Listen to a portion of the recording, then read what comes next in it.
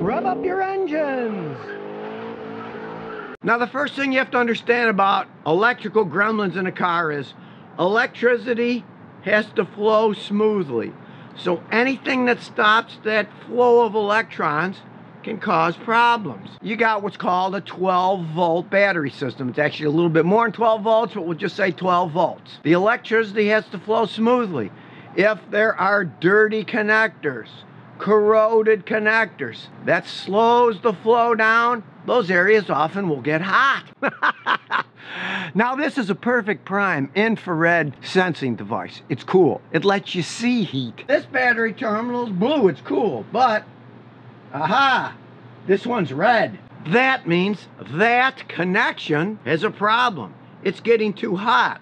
In this case, it's just dirty. Battery terminals get battery acid, it corrodes them, and when it corrodes them, then it makes more resistance, so it builds up heat, especially when you start the car. Normally, that's a simple fix. Hey, get one of these battery terminal cleaners, you take the battery terminal off, clean it inside, and then use this funky end in here that has little brushes to clean the top of the terminal on the battery, then put it all back together again. And you might think, hey, that's just the ground terminal. Well, on a car, you gotta have power, but you also have ground because the electricity flows. If your ground is bad, it is just as bad as if you have a problem in a power wire. Now my little infrared sensor, hey, that's cool for finding stuff really fast.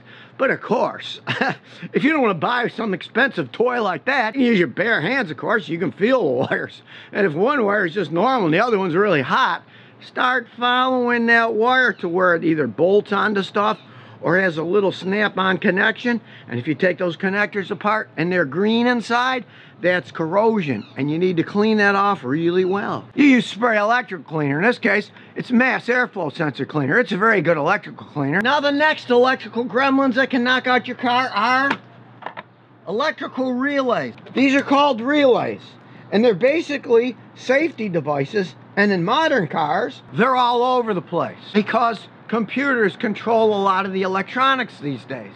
A computer has very little power. They work on a 5 volt reference and a few milliamps of power, not all that much power. So you can't have a computer say, turn on your air conditioner, operate an ignition system. There's too much power.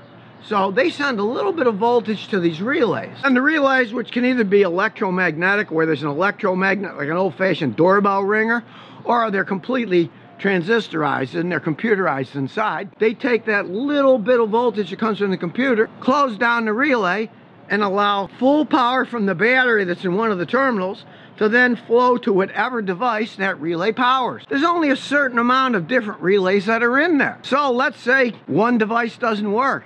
Maybe it's got the same relay as one of the other ones. And in that case, you can just unplug the relay from the other device and plug it into the one that you think is bad. And if it starts working great, just go buy that one relay and plug it in because it can get a lot more complicated with computers and electronics. You want to pray that a relay has gone bad if something's not working, like many cars have a fuel pump relay. Hey, if your fuel pump stops working, of course check the fuse, but more often it's the relay's gone bad. It's a lot easier plugging one of these relays in than it is dropping your gas tank and putting a new fuel pump in, only to find out later it was just the relay and not that expensive fuel pump. Now, since you can't see electricity, it's a good idea to have some kind of device that can check for electricity.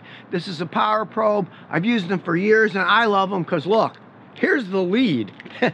it's tremendously long. So you can go anywhere on the car once you hook it up to the battery and test stuff without having to keep looking for a place you can get power from because your tool won't reach the back of the car or under the hood. Not the simple stuff like testing fuses. You just put it on one end of the fuse or the other. When you're checking a fuse, put it on one side. Push it hard, that's got power. Then try the other side. That's got power. If it would have had power on one side, but then green, ground on the other side, that means the fuse was blown. Here we go testing the battery itself. And it's 12.3. You want a tool that has the voltage readout because if you lose too much voltage, things won't work right. Even though this would show there's power, the red light would come on. Let's say one is 12.3 volts and the other is 11.5 volts.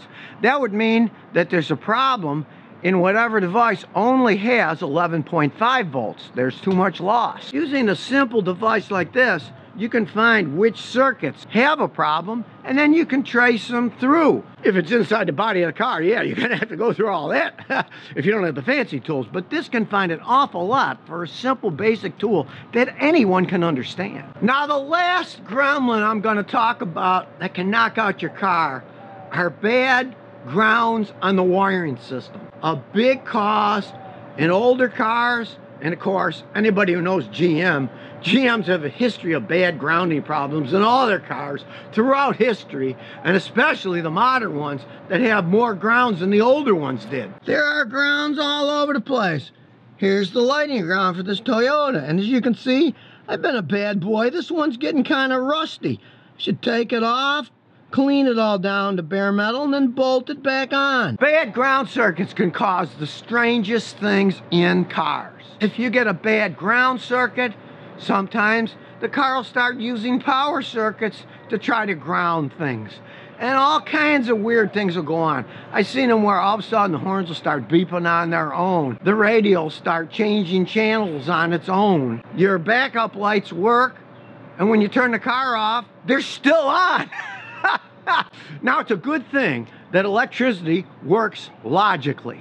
But the truth behind the logic on any given car can get to be pretty squirrely, especially in cars that have been in any type of accident. I had a customer the other day. My headlights are dim on the passenger side. Check it out. I said to her, Okay, first thing, did you buy this car new or used? And she said she bought it brand new, which was great because that meant she knew the entire history of the car. So my next question was, have you been in any wrecks? And her answer to that was, yeah, I had to have the front fender and the front bumper and the headlamp assembly replaced. So right away I thought, aha. So I went right to that right side and unfortunately on this car, in order to get to all the wiring on the headlamps, I had to take the stupid front bumper off. I took the front bumper off and lo and behold, knuckleheads at the body shop hadn't put the ground that whole giant headlight assembly on good. It was loose in the course, under there. The water splashes in from the right front tire when it's raining, and it just got corroded. All I had to do was take it apart, clean the grounds, and put it back together again. Think about problem areas. Has a car been wrecked in that area?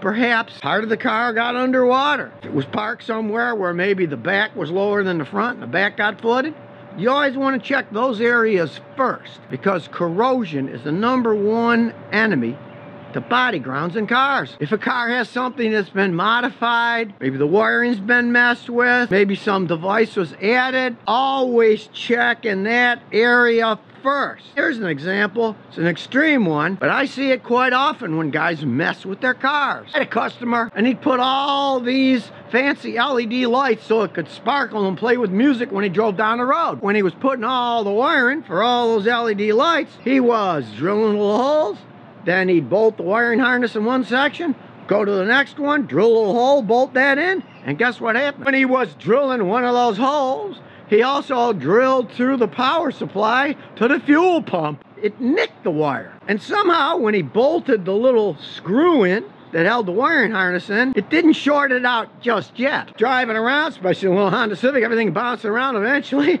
That screw connected the body of the car to the power to the fuel pump and boop! I get it all the time. People put fancy entertainment system in their dash.